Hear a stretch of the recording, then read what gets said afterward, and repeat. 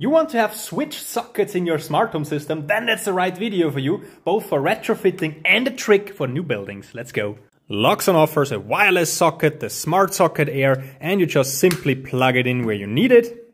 But there is more than just on and off. It also has an energy consumption reader in it, temperature sensor, and there is a button with an LED that you can press to do certain logics. And if you have lots of air devices in your house, then the smart socket is the perfect air repeater. If you have a new building and you want to have it invisible, then you could say this socket is always for the Christmas tree, whatever. Then you would wire this socket with a three core cable, depending on the country. This might look different to you. This is not electrical advice. Back to the cabinet, which would look like this. So you go from your breaker permanent power onto a relay on the mini server or a relay extension.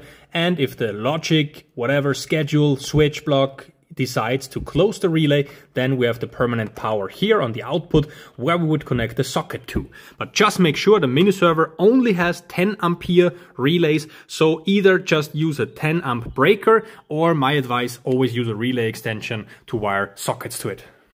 But typically you want to wire the sockets from one to the next to the next and not for each socket a dedicated cable. So the next trick would be to use a five core cable instead. And then we say on our RCD and the breaker, we use one permanent power here on, let's say, the brown cable, for instance, depending on your country. And then we say the permanent power goes to relay and we bridge the relay with some twin caps. There's a video on my channel on this. And then we just have two more switchable sockets. So you could even say in the same room, living room, there is one socket for some lighting, like this guy here, and, and another one for something else. That's the option with five core wires. And that's super flexible as well. Make sure that if you come here with the five core cable, then you wire the five core there as well. Well and everywhere you have it, you also have to connect all the cables, even those which you are not using, so they go further and further.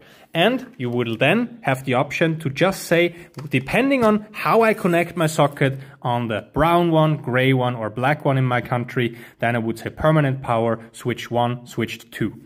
See you in the next video.